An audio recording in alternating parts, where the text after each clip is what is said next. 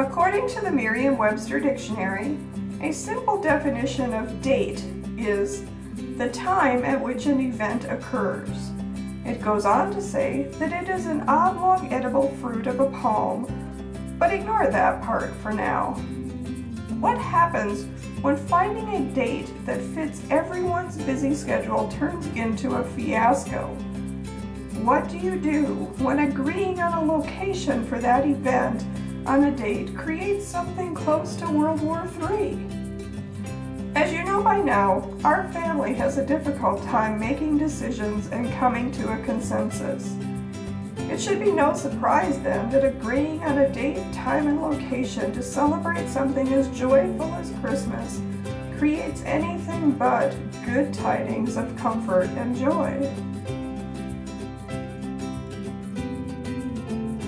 So, is our special Sister Sunday coffee time. I love our sister time. I do too. And I know we made the agreement that we're not going to talk about stressful things. But we have got to figure out our Christmas get together.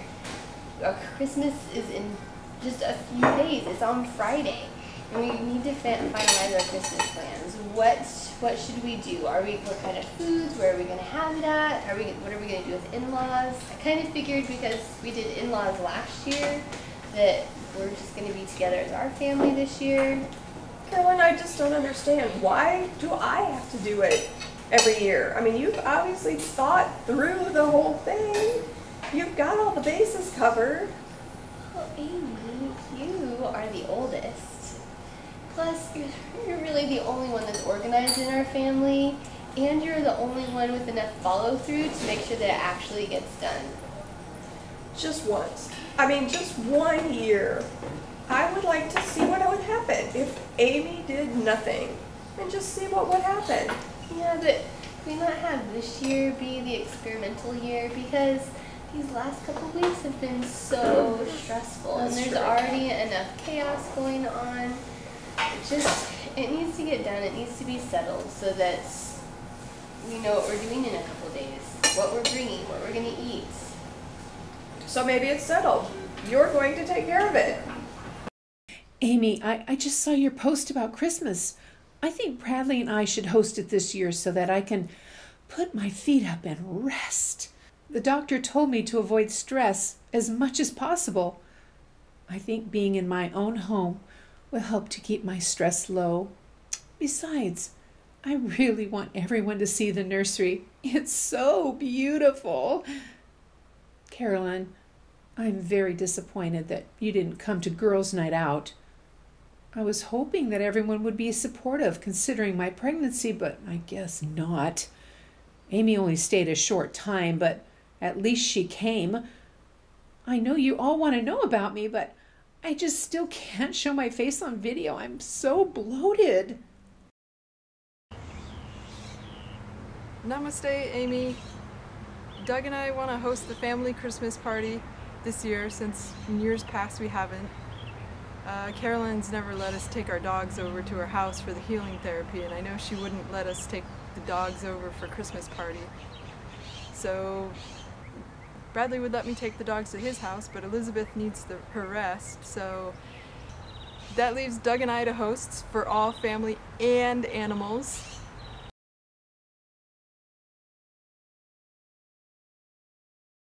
Okay, all the women have chimed in. Now it's time for you boys to have your say. I haven't shared my opinion yet. I think that we should have it at Elizabeth's house because I know her layout and I know all the details for the venue. Plus, I've already contacted the caterers.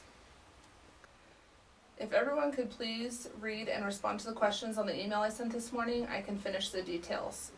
Oh, and it's very important that you actually read the email this time and pay attention to all the details. Far less confusing that way. Oh, and plus, Caroline won't have to worry about the cleanup this time. Amy, I thought you were going to talk to Bradley about this. We have got to get Kathy out of our family business. Now, our Christmas party has caterers and a venue. You've got to be kidding me. Amy, get this under control, or we're just not going to come to the Christmas party. Carolyn, why me? Again, why me? Why don't you call them? You call Bradley, or you call Elizabeth, or you call Kathy, or call 911. Bye. I'm not sharing my opinion because nobody listens to me anyway. Amy, I spoke up just like you told me I should.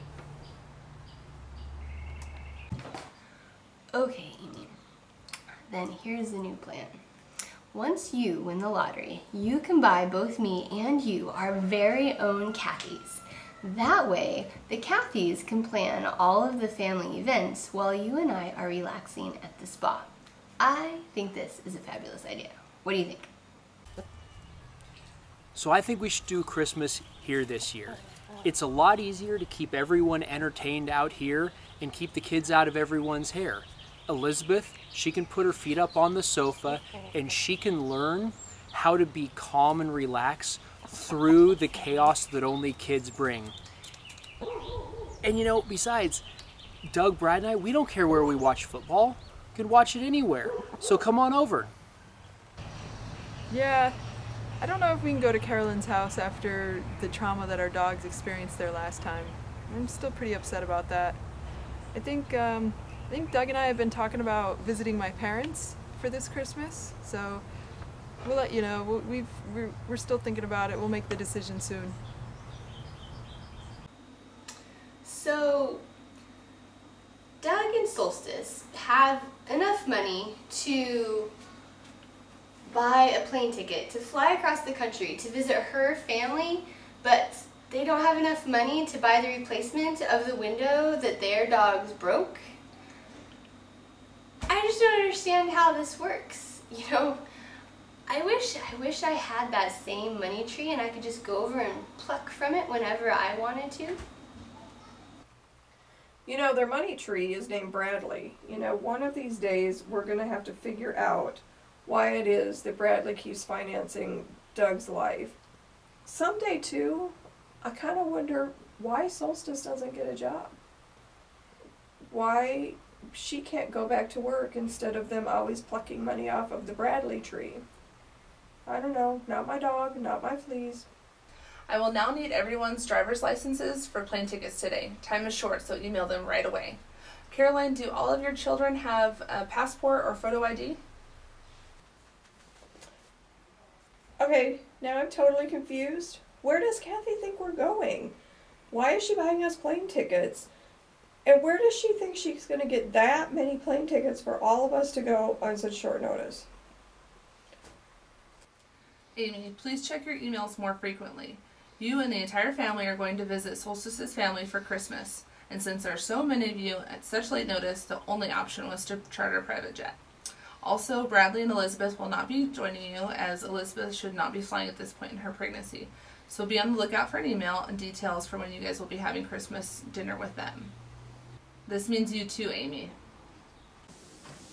Before you all get excited, I've explained to Kathy that we don't need a private jet to go anywhere.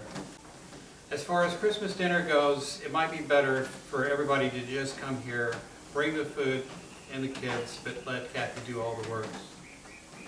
Sorry for the mix up about the private jet, everyone. I, I think I have things squared away with Kathy now about what she is to do for our Christmas plans. I can't wait for everyone to see the nursery. Amy, do we have to make Christmas about Elizabeth's new baby even before it's born? And do we really want to cater our Christmas dinner?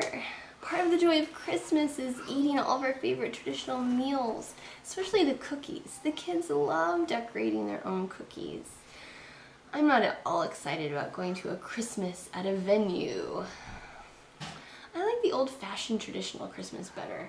No, Carolyn, but remember how we were with our first babies and that all joy and excitement and, you know, all the anticipation and remember, let's not rob Elizabeth of that just because, you know, we've had a lot of babies. Plus, Bradley could use some joy in his life. If not for Elizabeth, let's at least bring out the joy for Bradley so that this can be a fun time for Bradley, okay? You're right, uh, Amy, but what about the food? Do you think the caterers would take requests, maybe even recipes?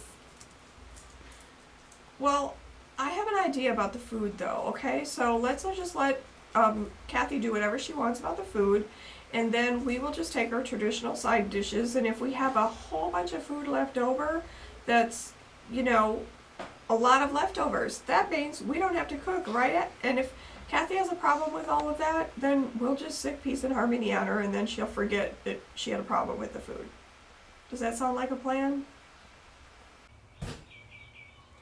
Any food is good, but if you all expect me to help clean up after the barbecue or after a party, the least you can do is let me know. Again, no one tells me anything in this family. I feel like I'm not even a part of this family. For the record, Elizabeth and Kathy think I'm doing a great job getting this room ready and decorating. Finally, someone thinks I'm doing something good. Someone thinks me, Doug, I'm doing something good. Did we ever decide on a date and time for the Christmas party? It looks like it's going to be at Bradley and Elizabeth's house. But when? The date and time are included in the email I sent earlier. It's all been arranged with the caterers and the contractors, so it's too late to change. Given that it's so close to Christmas time, it was a miracle that I was able to arrange this. In the future, I will make sure that our plans are set in stone farther in advance with enough time to coordinate the details. Yes, Kathy is quite the miracle worker, all right. I feel like I'm in the twilight zone again. So what is the date and time? Ah, Because I never got the email. Okay, everybody, bottom line, we are meeting at Bradley and Elizabeth's house on Saturday at 11 o'clock. Bring all your Christmas presents with you that you want to open that day together as a family, and leave your passports at home because we're not flying anywhere that day. Okay, see y'all Saturday. Namaste, everyone. So Doug and I have decided to stay here this Christmas. We we feel like after the trials and tribulations over these past couple weeks, that it'll be good for all of us family to be together. So we can't wait to see you. I'm so happy to hear that everyone will be here on Saturday. Since this is our baby's first Christmas, it means so much to all three of us to have the entire family all together. So Amy, considering Elizabeth's last video, is she expecting us to get Christmas presents for the unborn baby? Um, I thought that this baby showers were for that. Well, what do you even get an unborn baby for Christmas?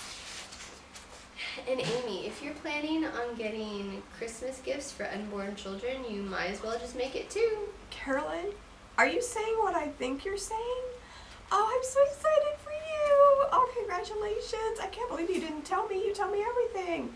Are you feeling? Amy, don't you say a word to anyone. Absolutely no one knows except for Tony, of course.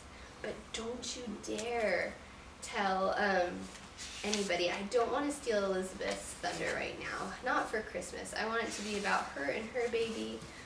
I'll tell the family later. I just, I don't know when. I'm anxious to hear when El- Elizabeth's due date is. We might even be in labor at the same time. Wouldn't that be too funny? Oh, Carolyn, I'm so excited for you though, and how I mean, this is like really great. So, but I can't believe I didn't notice. I don't know if you, either you're feeling really great or all that excitement with Mike in the hospital and everything. I just wasn't paying attention or something, but can't believe I didn't know. This is so exciting. And I, do, I think it's really sweet of you to not want to steal a limelight from Elizabeth, and it is her first, but still, your baby is just as precious as Elizabeth's first. But it's sweet of you to think of her like that. So, when are you planning to tell the rest of the family? I don't even know when we're going to tell anybody.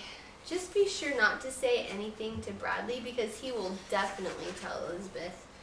And that would be a disaster. And then she's going to tell Kathy, and then who knows what's going to happen. Then they're going to be flying us to on a private jet to a venue for private Lamaze classes. Yeah, I wonder what Solstice will say too, because you know she's been bugging Doug about having a baby, and this uh, two of her sisters-in-law pregnant. She might really get the bug. Poor Doug. What's he gonna do?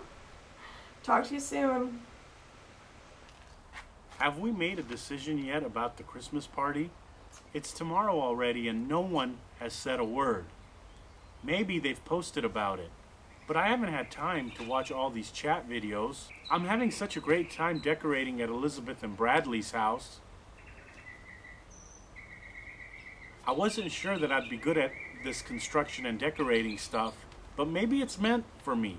Maybe this is what was meant for me to do. You know, this actually makes me happy.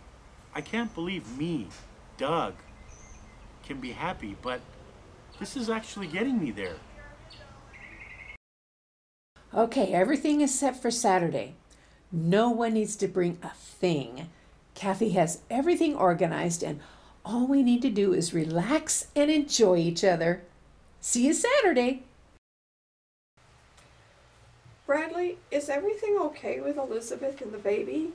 She sounds chipper and everything, but you know, I mean, she was in bed in her pajamas on a work day, and that's not like Elizabeth. So, if you think it might be too much to have Christmas at your house, just say so, and that's fine. We can do it someplace else. I just, you know, don't know what's really going on with her for sure and what's best to do. Let me know, Bradley. Amy, Elizabeth is fine. She gets into bed every night when she gets home from work. She's taking the doctor's order really seriously. Kathy really has everything under control and is and is really taking charge of this party.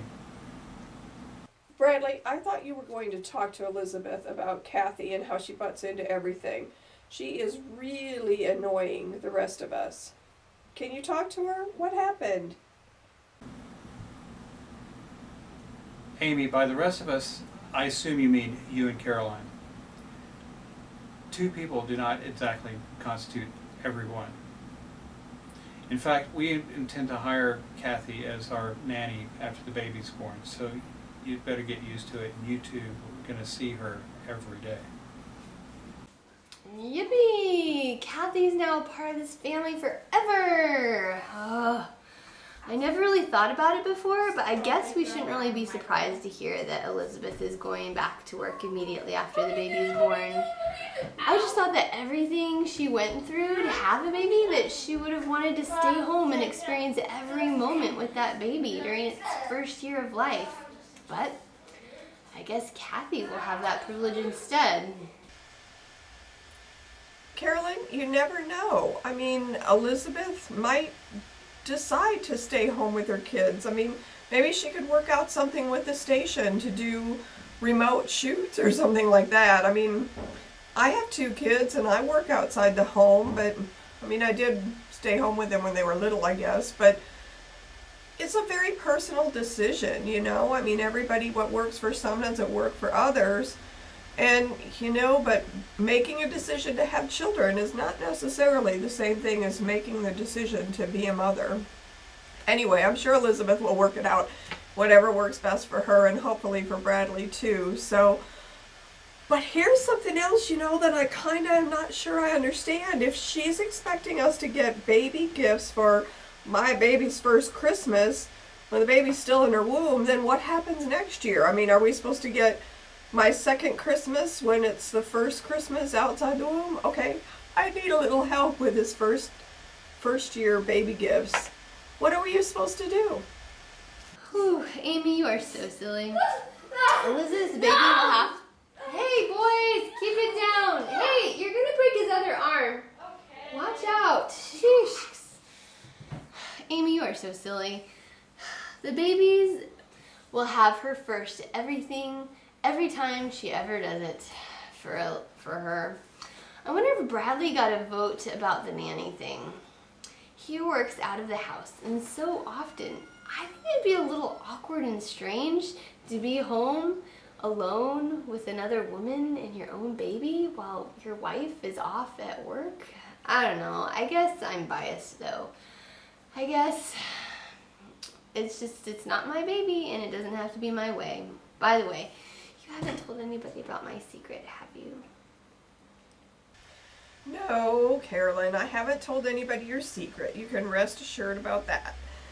So, what are you guys bringing tomorrow? I mean, I'm still bringing food. Emily's home right now preparing our three favorite side dishes. They're all sides. We're not taking any meat. And I'll probably throw together a batch of fudge because everybody loves the fudge and um, it's always a big hit. Plus, I love it too. So that's what we're taking. What time are you guys going? Because I don't want to be there all that long unless you're there too. So call me. Namaste, everyone. Carolyn has a secret? I can't wait to hear it tomorrow. This is going to be the best Christmas ever. Elizabeth and Bradley have a new baby coming. Carolyn has a happy secret to share. Doug and I have a secret. This is going to be a Christmas of blessings and expansion. Let me remind everyone that the caterers have all the food under control. No one needs to bring anything tomorrow. I have thoroughly researched Christmas traditions and have given the chef specific instructions on what to prepare. As for sharing secrets and exciting news, that is best left for another time. I think Christmas and Elizabeth's pregnancy is enough excitement for one day. You people have 364 other days to steal her spotlight. Let her have one day. Oh, and again, the reminder about the privacy settings. Maybe doing our communication this way on the video thing wasn't such a good idea after all. Yikes. But at least I don't have to worry about anybody else in the family finding out that I have my own secrets to reveal. Amy, maybe we should put the privacy settings on the spotlight so we don't keep making the same mistake. When I think about how we have to deal with the next 18 years of Kathy in our lives, all I can do is laugh. What is she going to do next? And just what surprise do you have to tell Amy? I thought we told each other everything. Now you have a surprise too, and I don't even know what it is. I'm not surprised at all that I don't know what Solstice's big announcement is, but with you, I thought we shared everything with each other. I know all of your secrets. Okay, well, I'll see you tomorrow.